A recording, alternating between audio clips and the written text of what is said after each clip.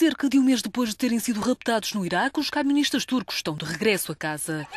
Os homens, 32 no total, foram sequestrados por combatentes do Estado Islâmico do Iraque e do Levante na cidade de Mossul, juntamente com outras 49 pessoas do consulado que continuam em cativeiros.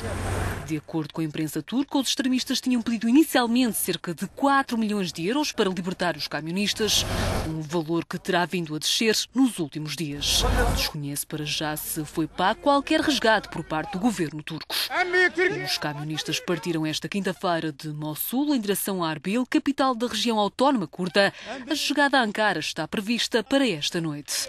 O governo turco garante estar agora a negociar a libertação dos restantes reféns.